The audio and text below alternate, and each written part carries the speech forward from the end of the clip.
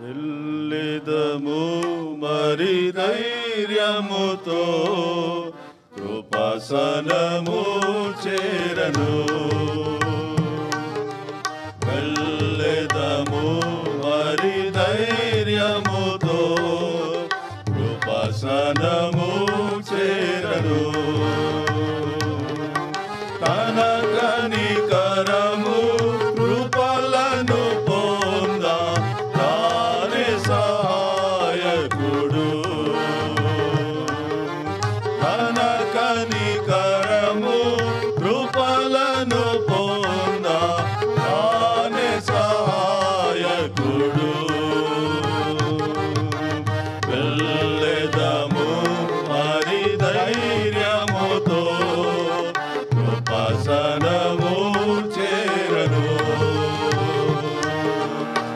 le d'amour.